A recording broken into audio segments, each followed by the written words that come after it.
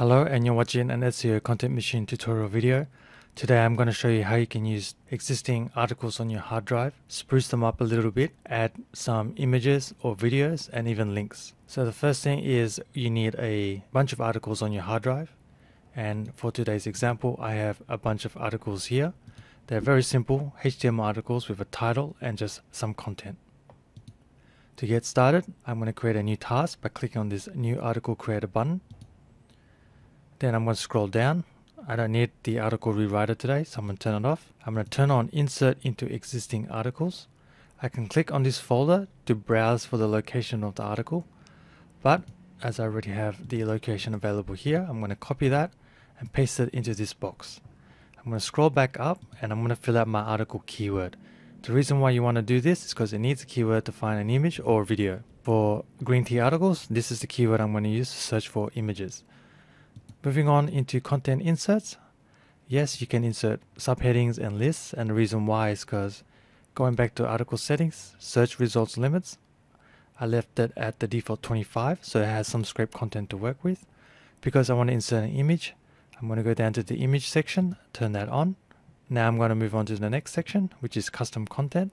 By clicking on this button, I can choose where to insert some additional content into my article.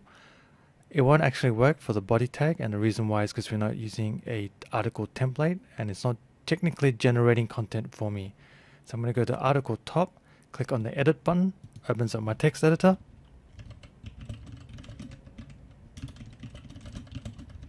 save this file.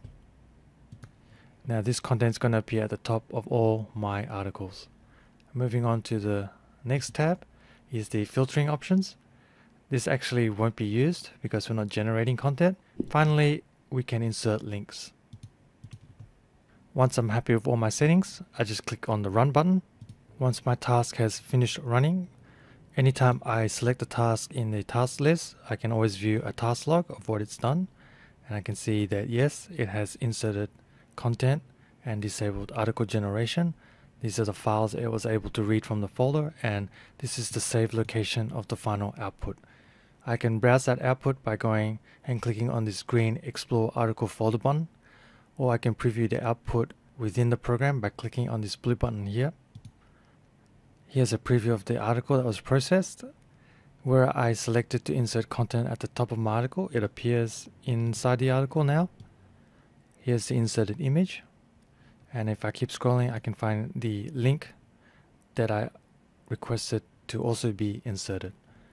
Very simple to set up. If you have any questions, feel free to send me an email info at seocontentmachine.com.